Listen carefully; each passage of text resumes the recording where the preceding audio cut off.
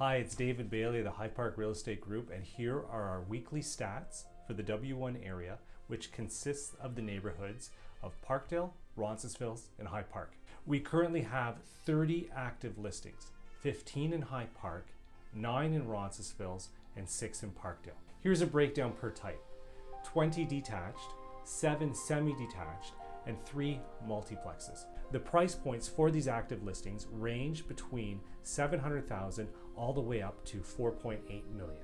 Last week we had one sale, one property is sold conditional, we have one with a price change, two properties have expired, one has been terminated, and one has been extended.